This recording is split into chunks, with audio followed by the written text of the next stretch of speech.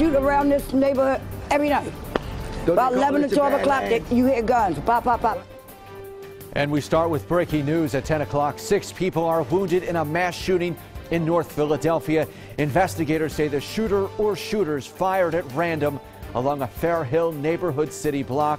Among the victims caught up in the gunfire, a 14 year old boy. Police records show this latest violence marks Philadelphia's second mass shooting this weekend.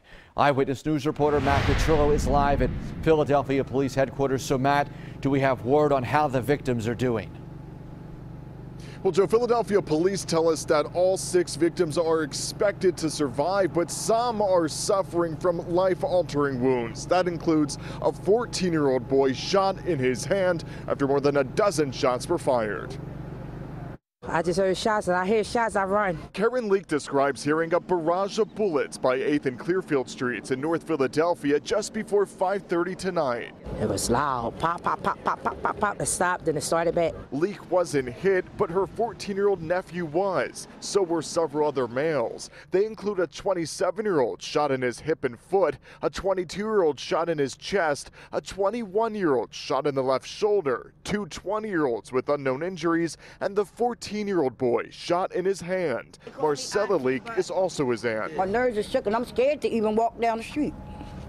It's, it don't make no sense. They need somebody out here every day patrolling this block. Philadelphia police say a gunman was seen driving by while opening fire into the group of people who were gathered by the street corner. Now detectives are working to figure out who fired the gun and why. We have lots of cameras on the block. We're hoping to get video from them, but right now we don't have a direction on the suspects or their vehicle. Neighbors here admit they're used to gunfire. There was another shooting nearby just a month ago. For what reason?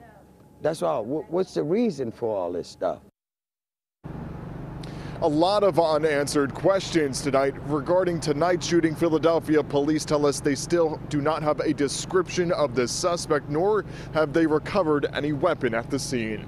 Reporting live at Philadelphia Police Headquarters, Matt Petrillo, CBS 3 Eyewitness News. Matt, thank you for that live report.